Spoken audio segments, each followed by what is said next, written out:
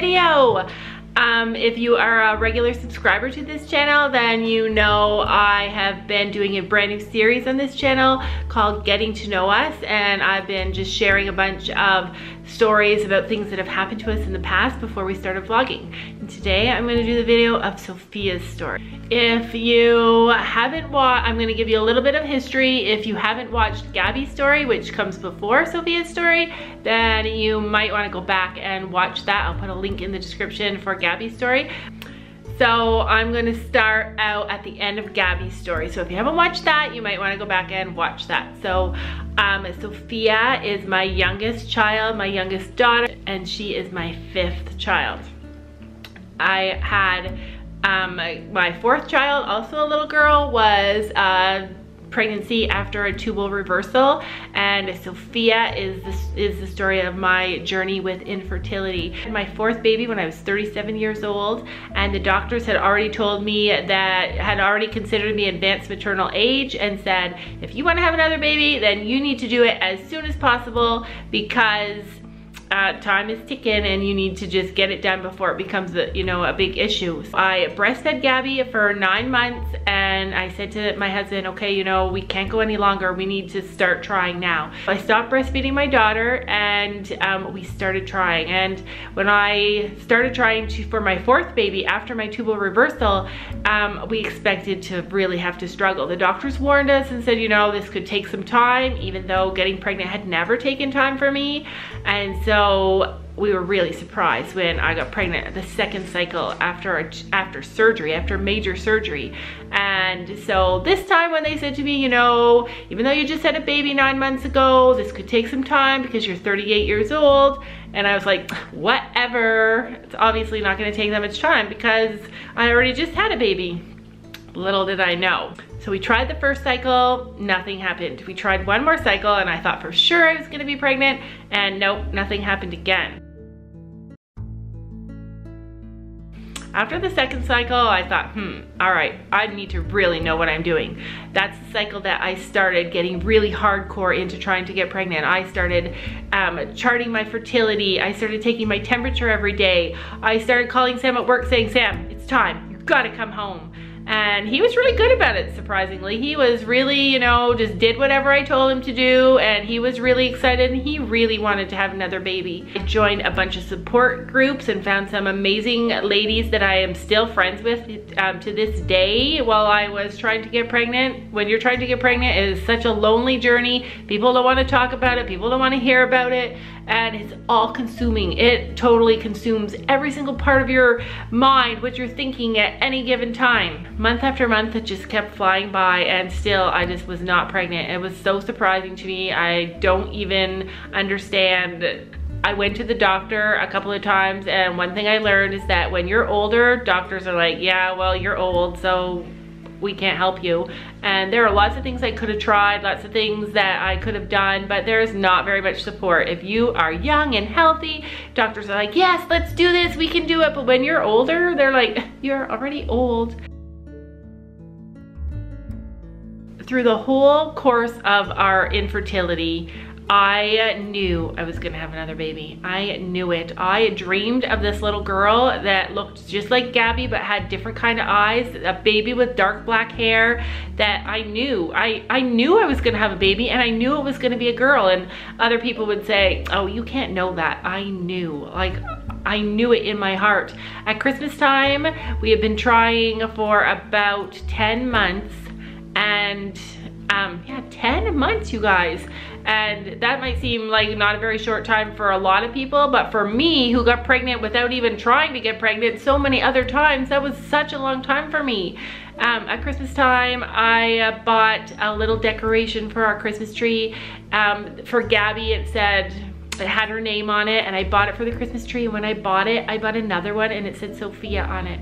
And I showed it to Sam and I said, look, and I bought these Christmas decorations. And he said, Sophia? What? We don't even have a Sophia. And I said, but we are gonna have a Sophia. We had already decided on our names for a boy and on our names for a girl. And I knew we were gonna have a Sophia. And I kept I kept my faith and I tried to stay positive and it was the hardest thing. Probably infertility was one of the hardest things that we have ever gone through. I think that having infertility and not knowing that it was going to turn out okay would be way more harder than having infertility and knowing without a doubt that I was gonna have a baby. After I bought the Christmas decoration, I hung it on the tree and we had a really nice Christmas and I got a puppy for Christmas that year. That's the year that we got Macy.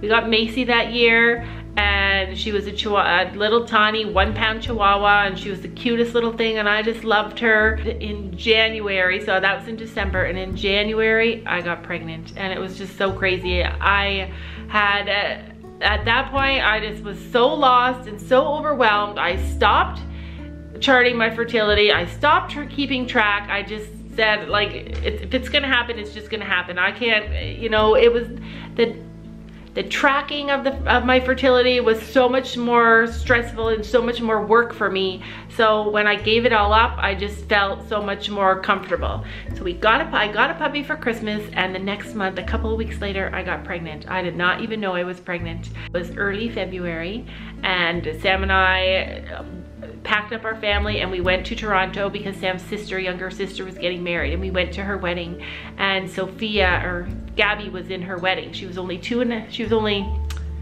how old was she? She was almost two years old at that point and she was in the wedding. So we went to the wedding and we came home from the wedding and I didn't notice anything different at all. We came home from the wedding and a couple days after we had been home, I thought, I'll just take a pregnancy test because you never know, I could be pregnant. And of course I took it and it was positive and I was freaking out.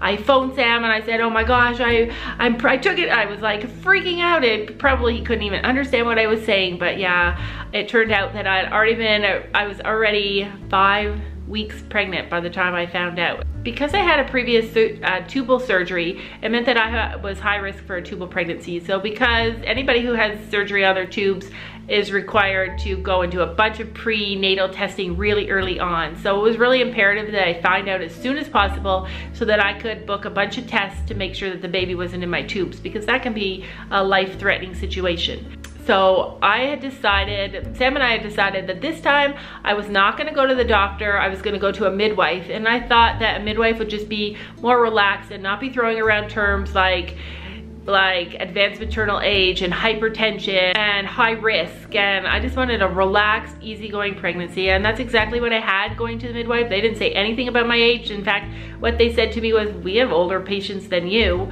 And so I had a really relaxed pregnancy. I did not have a single solitary um, complication at all. So at 41 weeks I was induced because none of my babies ever want to come out. So I'm always induced at 41 weeks she was my biggest baby by far. She was nine pounds, three ounces. She had a ton of black hair and big fat chubby cheeks, just like in all the dreams that I had of her.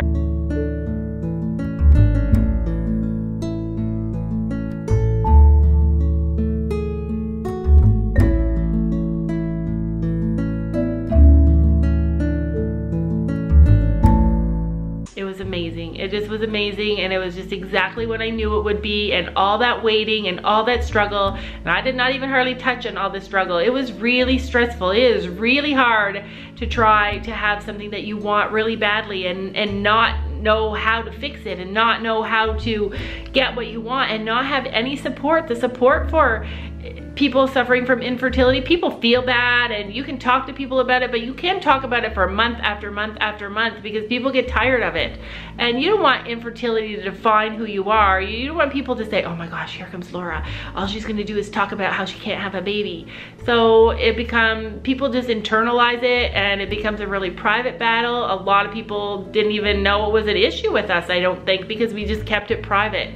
And it was all worth it when we when when she was born. It was amazing. It was perfect. She was perfect. After sophia was born it became apparent very quickly that she had colic and um, little did we know what things were going to transpire in our life with her. While she was a little girl. She had so much trouble when she was a baby. She became very, very sick and I'm gonna end the video at that because I wanna share with you the story of how we almost lost Sophia. Oh, just saying it even makes me tear up.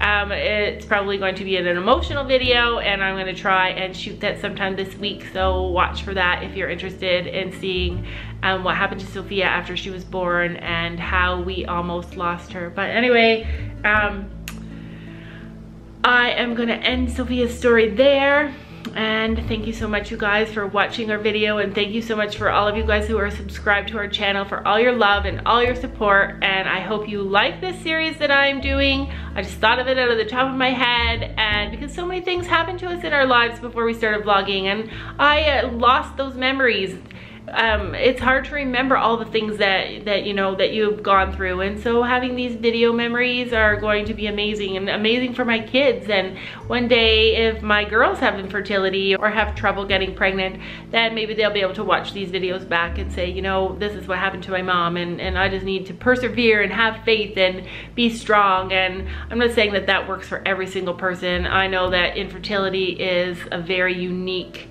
um, road and it, everybody is different. So I understand that, but um, if this video can help anybody, then is worth it. See you later. Thanks for watching.